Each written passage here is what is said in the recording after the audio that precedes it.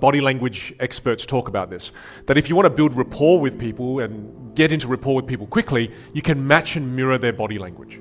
And by matching and mirror, mirroring their body language, you can kind of build more rapport with them. Now, if you take it a level deeper, if you match and mirror people's vocal foundations, that's also a wonderful way to enhance rapport with people that you first meet. I mean, for example, if you, if you imagine you meet somebody and they, they imagine they're quite shy and they're really quiet, and if you came into the engagement with that person go, hey, how you going? Are you excited or what?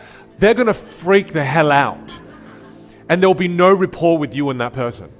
So one of the most powerful things you can do is you can match and mirror people, like what Bajio was saying, is that if you notice, oh, they're a little bit shy, then to engage in that and build rapport, what you can do is you can go, oh, hey, hey, are you new around here? Tell me, what's your name? My name's Vinh. And you don't stay there though. The trick is you meet them where they are and then you take them to where you want to go. In music, they call it harmony. And I, I love my vocal coach, Melissa, because she always said it's about harmonizing with others. And if you can harmonize with others, that's what builds rapport and builds connection.